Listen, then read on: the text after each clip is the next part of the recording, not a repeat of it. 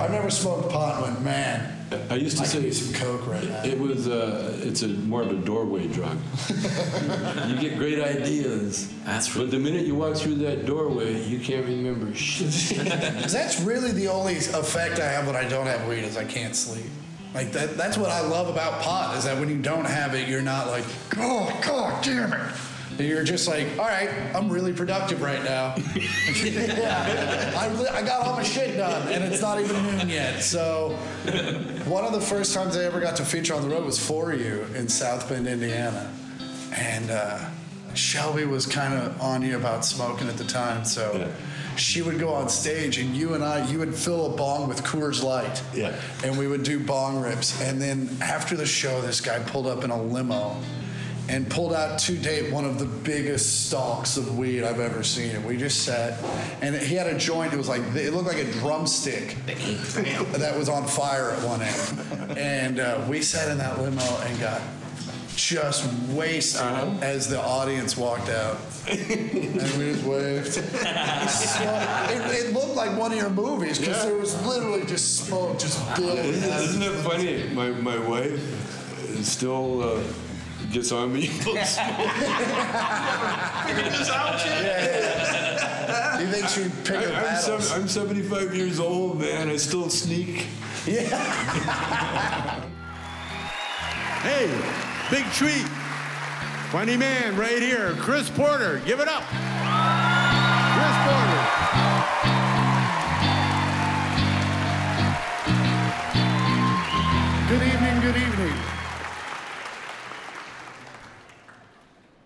Dating again. I hate it. I don't do Vegas. I don't do dance clubs for obvious reasons. This. This is not my moneymaker.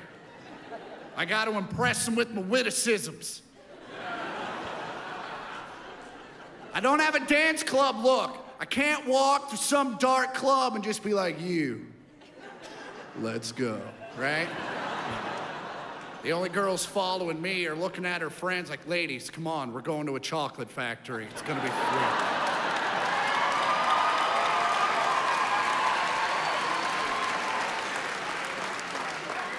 Yeah, laugh it up. It's hilarious. This is what it does. This is what it does. I didn't go to a salon and say fucking Wonka me, all right? Think I'm at the hotel waiting for curlers to set? No. I get out of the shower and this is what it fucking does.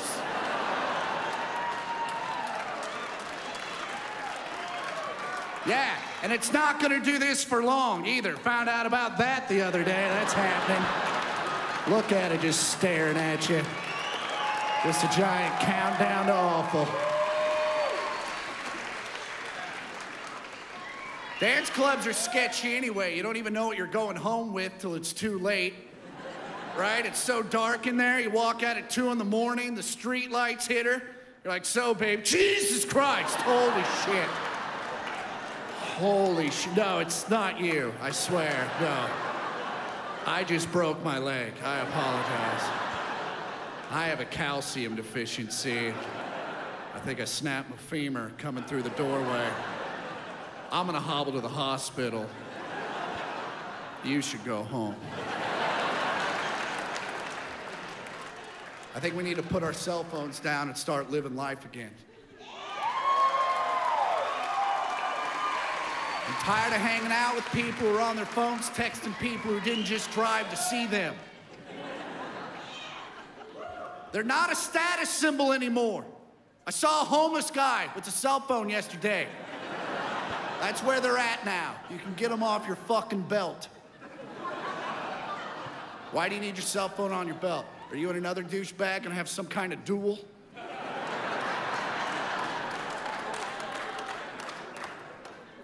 And Facebook's making us boring. I know it's fun to keep up with each other, but now when we actually physically see each other, we got dick to say because we posted every fucking thought or activity. You got your friends that post everything like someone gives a shit? Let me tell you something. If your life was that goddamn interesting, you wouldn't have time to Facebook about it every five fucking minutes.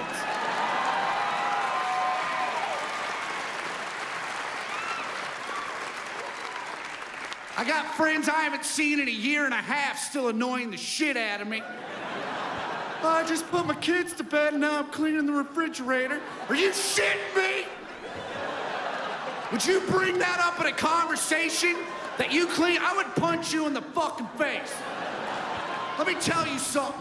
I asked you what you did last night, and the extent of your activity was cleaning the refrigerator. Your proper response is fucking nothing. I didn't do shit last night. Cause you start telling me a fucking refrigerator cleaning story, that shit better go somewhere. Like, oh, and then I found a brick of weed I didn't know I had, or something. I'm part of a generation I don't understand. Which I think is fairly obvious if you take two seconds and fucking look at me. I don't look like someone my age. I look like I walked out of an Allman Brothers photo. Which I like. I like how I look. I bought this shit. I think a lot of you fuckers look weird. All my friends are getting tattoos and piercings, which is fine. Get a tattoo, get nine tattoos. I just don't think you need a sleeve of tattoos. I hate to be the one to break this shit to you, but you're gonna grow old. And that shit ain't gonna look right. No. Yeah, you're gonna be Grandpa Dark Arms. And all the grandkids are gonna have questions like, what the fuck's wrong with your arms, Grandpa? And they're gonna say what the fuck to you, because that's the kind of family you'll run, because you have tattoo arms. And you'll have to explain yourself to an eight year old. Well, buddy, this used to be a serpent. Then my liver spots came in, so. Now I just tell people it's a run over cheetah. This is my tribal tattoo. Grandpa, what tribe are you in? Uh, I'm in the tribe of guys who had $150 in the mid 90s. We are a massive tribe. We almost conquered every gym in America.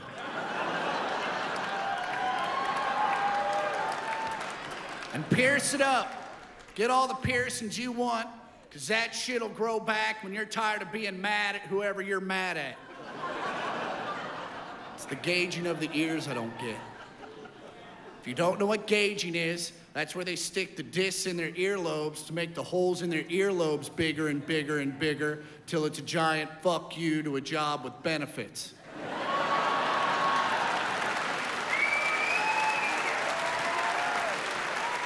fuck you, retirement. I'm gonna work at this sub shop till I die.